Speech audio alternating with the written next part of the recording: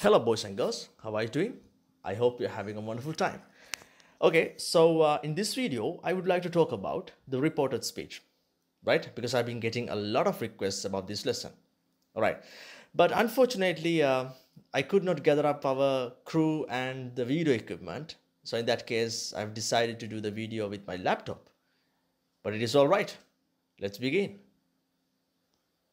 Okay, the reported speech is mainly the method of relating somebody else's sentence.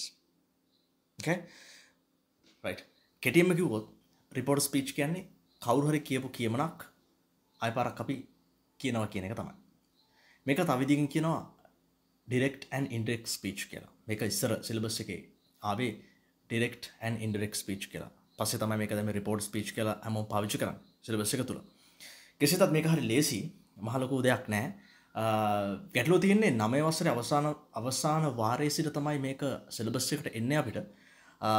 ඒක චුට්ටක් සුදුසු නෑ කියලත් මට හිත නමුකද නමයවසර අවසාන වෙද්දී මේ වගේ අමරු පාඩමක් දැවන්ත පාඩ අමාරු කියන්න ම මේ වගේ දැවන්ත පාඩමක් තේරුම් ගන්න තරම් අවබෝධයක් නැහවගේ කියල මට දැනවා ඉතින් කෙසේ වෙතත් දහයවසර මුලේදනු තයි රිපෝඩ ස්පේච් තියන අයකොල අවසරෙත් කොමත් තියෙන ඉතින් ඔය විභාග තුනේම නමයවසර දහයවසර එකොළ අවසරගෙන ඕනම වාරකදී විභාගයකදී රිපෝට් ස්පීච්චලින් ප්‍රශ්නයක් එන්න පුළුව ඉතින් අන්න එකට ලකුණු පහක්කෝ දහයක් ගන්න පුළුවන් අවස්ථාවක් සලසල දෙන්න තමයි මේ විඩියෝ එක් කරන්න.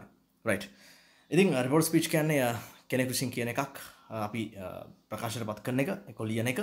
ඉතිං මංකැමති පලනික් සාම්පලෙක් ගන්න. හරි. දැමෙන තියෙනවා වාගේ පළවෙනි වාක්‍ය. රයි් මොකත්තින් I am hungry Nimal said මේක සමහරලාට සෙඩ් නිමල් කියලෙන්න්නත් පුළුවන්. එක ප්‍රශ්නයක් නෑ. රයි් දැන් මේක නිමල් කියලා තියෙනවා. දැන් අපි මේක අහන් ඉදලා අපි කියන්න ඕන මෙන්න මේක නිමල් පැවසවා කියලා. ඕකට අපි කරන්නේ වඩ දැන් පේනවාගේ නිමල් සෙඩ් කියන එක ඉස්සරට ගන්නවා. රයි් දැන් මුල තියන්නේ වඩ උඩින් පේනවා ඩිරෙක්ට් වාක්‍ය කෙන කෙලින් ප්‍රකාශ කරප එක. දැන් ඉන්ඩිරෙක්ට එක පල්ල තියෙනවා. ම දැන් අරන්තියනවා නිමල් සෙට් කියලා. ඒක හැමෝටම තේරවා පැදිලි නිමල් සෙට් කෙනෙක සරට ගත්තා. එට පස්සේ දාන්න ඕන වචන ඇතිවා දැට් කියලා. ඇද මේ දැට් එක කතා බාදින ටිකක් ඔප්ෂනල එකන පාවිච්චි කරනවා අඩුයි. නමුත් දැම්මයි කියලා වැරදකුත් නෑ නමු සිලබස්සකේදී අපි අනිවාර්යම කරන්නවා දැට් දාන්න කියලා. නිමල් සෙට් ටැට් රයි් දැන් ප්‍රධාන වාක්‍ය ලියන්න වෙලා වෙල්ලදී දැ මොකද ප්‍රධාන වාක්‍ය? අයම් හංග්‍රීනි දැන් අයම් හංග්‍රී කිව්වයන් පස්සේ අයි කියන කෙන අයි කියන්න උතන කාටද? නිමල්ට. තර අයි කියන්නේ වාක්‍යලියන මම නෙමේනේ ඕකේ ඔය වාක්‍ය කියපු එක් කෙන නිමල්. එන නිමල් කියන්න පිරිමිලාමයෙක් නිසා අපි අයි වෙනුවට ප්‍රෝනව් එක චේන්ජ් වෙනවා ඔහු කියලා. ඔහු කියලා. තකොට හි කියලා තමයි රයි අප ඊට පස්සේ කරන්න ටෙන්ස එක චේන්ජ් කරන එක. රයි දැන් ප්‍රෝනව් එක චේන්ජ් කර දැන් ටෙන්ස එක. රයි දැන් මේක තියෙන ප්‍රසන්ටෙන්ස් එකෙන්. එකන ඇම්මිස්සා වලින් තමයි තියෙන්නේ. දැන් එතකොට අපිට වාක්‍ය හරවන්න කලින් චුටි වගුවකට යන්න වෙනවා. මෙන්න තින වගුව. දබාන මේක තියෙන්නේ බේසික්ම බැක්ෂිෆ් කරන විදිහ තියෙන්නේ. එකන ටෙන්ස එක මාරුවෙන විදිහ තියෙන්නේ. ඇම්මිස්සා අවුත් වෝස්ව වෙනවා. වෝස්වාවොත් හැඩ්බීන් එනවා. ප්‍රසන්ටෙන්ස් පාස්ටෙන්න්සනවා පාස්ටෙන්ස් පස් පර්ෆෙක්් නවා එකන හැඩ්දාලා ක්‍රියාපති තුන්ගි අවස්ථාව පස් පාඩිසිපල අන්න එක විල් එක පුට් වෙනවා කැන්න එක ගුඩ්ඩනවා තව තවත් කීපයක් පල්ලහට තියෙනවා. මේටික විතරයිම අද කතා කරන්න. රයි් එකන මූලිකම අවශ්‍ය අවශ්‍යතාව වෙන්නේ මේටික පමණයි. රයි ඉතින් දැන් අද දැන් මෙතන අපි හදනවාගේ ඇම් ඉස්සා එකන ඇම් තියෙන නිසා අපේ වගූට අනුව ඇම් ඉස්සත් තුන තිබොත්තෙම ඇම් ඉස් අවත්තේම වෝස්සෙනවා. ආවුත් වර්න්නේ ඒ අනුව අපි ගන්න වෝසයිව හරි දෙන්න එක් කෙනෙක් දැ මෙතැන්ට එන්නෙම කතතර සුදුසු එක. වෝස්. ඇයේ හි වෝස් හි කෙනෙක් කෙන සිංගියල තකොට අනිවාරෙන් වෝස් පාච්චි කරන්න. හෝස් තැම රයි එතෙන් හට මුකුත් නෑ නිකම්ම ඉතුරලා තින්න වචන දාම තින හංගරි බාන කොච්ච ලේසිති කියලා. රයි් දැන් ආයි පරබලම අපි ටෙන්ස් බක්ෂිප්නදිය ඇම් විස්සා වෝස්ව වෙනවා. වෝස්ව හැඩ්බීන් වෙනවා. ප්‍රසන්ටෙන්ස් පාස්ටෙන්ස් වෙනවා. පාස්ටෙන්ස් පස් පර්ෆෙක්් වෙනවා. විල්ල එක බුඩ්ඩනවා කැන්න එක කුඩ්වෙනවා රයිට අපි අන්තවාක්‍යකට ඉලර මංගන්න අයම් ටෝල් නදිනි සෙඩ් එක සුපෘත පරිදි. නදිනි සෙද්දැට් ය ගෑන්ලමක නිසා ශ්‍රී දම්ම. ඇම් ඉස්සා ගෙන ඇම් තියන්නේ. තොර සුපෘතු පරිදි වෝස් දාලා ටෝල් කියල දැම්ම. තර ඇම්මිස්සා වෝස්ව වෙන දිය දැන් තේරනවා. රයි් බෙරලාක්කත් වෝස්වාවත් මොකද කර බයින්න එපා. අපි එකත් කරු ඒ මොනොත් එහෙම අයිවෝස් ටයඩ් පරිස්ම වාක්‍ය කියව කියල බලන්න හොද පෝස් තියෙන්නේ. එනම් ගන්නකෝ සුපුරුතු පරිදි ක්‍රමයකයින් පීට සෙඩ් දැට් හි කොමත් තේරනවා. රයි පීට සෙඩ් දැට් හි මොකද අයි කියන්නේ කොමත් එතන පීටන හි ද වෝස්. දැන් වගෝට අනුව මොකක්ද එන්නේ? බලන් හොඳට. වෝසාවත් හැඩබින් ඔය හැඩබීන් කියන දෙකම එකට තමයි පාවිච්චි කරන්න. හොද කියන වචන දෙකක් තමයි. නමුත් එක එකට අපි පාවිච්චි කරන්නේ. ඒ අනුව හැඩබීන් දානවා. දාලා අවසානය ටයිට් කියල දානවා. හරි ලේසි රයි් හරිද?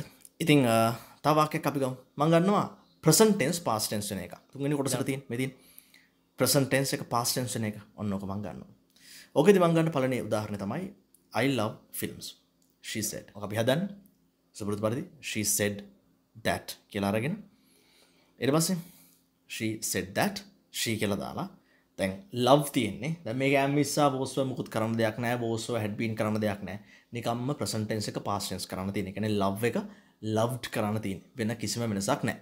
හොඳට වගුව බලන්න ආයේ ප්‍රසන්ට් ටෙන්ස් ආවොත් පාස්ට් ටෙන්ස්. ඒ කියන්නේ ලව් කියන එක ලව්ඩ් වෙනවා. Loved films. රයිට් දැක්කනේ ප්‍රසන්ට් ටෙන්ස් පාස්ට් ටෙන්ස් වෙන හැටි. රයිට් හරි තවයක් ගමු we do our studies the students said right? මේ කොහොමද the students said that right? තර වී තියෙන්නේ වීම දාලා හරියනවද පිකිවොත් අපි වෙන්නේ හැබැ මේක ළමයි කියලා තියෙන්නේ ළමයිකුහම අපි කියලා ගන්න බෑ අපි ළමයි කියලා ගත්තොත් ඔවුන් කියලා ගන්න වෙන්නේ ඒගැන වී වැරදි යනම් ගන්න වෙන්නේ දේ හරි තෙරණ එක ප්‍රනවන්් වෙනස වාට ප්‍රනවුන් එක තාම් ප්‍රනවන්ස් පහටම පැදිල් නැත්ත ම පල්ල ලින්ක එක දාන්න ඒක සිලෙක් කරන්න ලෙසන්න එක තියෙනවා. ඒක බල එන්න චුටක් ඉට පස්සේ දේ දාලා දූ එක ඩිඩ් කරන්න ඕන. එක පාස්ටන්ස් කරන්න අවශ්‍ය නිසා. ආයතා පොඩි වෙනසත් තියෙනවා. අව අව ප්‍රෝනවුන් එකක්. ඒනම් අව තියන්න බෑ. එනම් දේකේ පොසිසි ෆෝර්ම් එකක් තමයි දෙයා කියන්නේ. අන්න විදිර දෙයා තමයි එන්න ඕන.